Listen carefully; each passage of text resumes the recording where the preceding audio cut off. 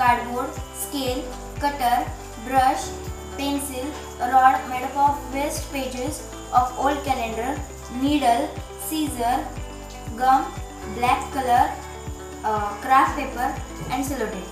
So first we will take a black RC paper, then we will we will make it like a hole.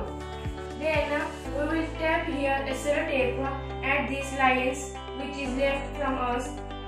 Then we cut it uh, at this and it will be our bottom bottom. So we will make like this that it will stand itself and it will handle it overweight.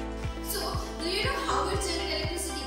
When the sun heats the air at the base of the stove, the hot air starts to absorb in the stove and that absorbed air drives the wind, turbines it and then produces electricity. Blade tower আৱিষ্কাৰ কৰিছিল জাৰ্মানীৰ এজন বৈজ্ঞানিকে আজিৰ পৰা এশ বছৰৰ আগতে তাপ শক্তি আহৰণ কৰি বিদ্যুৎ শক্তিলৈ ৰূপান্তৰ কৰিছিল।